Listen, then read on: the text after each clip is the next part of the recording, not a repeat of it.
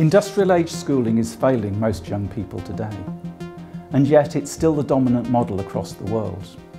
This is a serious problem. We need to find ways to solve it, but what are the possible solutions? In order to answer that question, we need to understand how people learn, and therefore how schools ought to support their learning. We need to change what young people are taught so that they all develop the knowledge, skills and attributes that they need to succeed individually and collectively.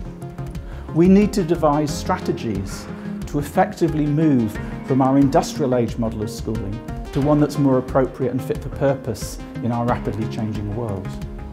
Join me to hear my thoughts about possible solutions to these problems and to engage in this critical debate.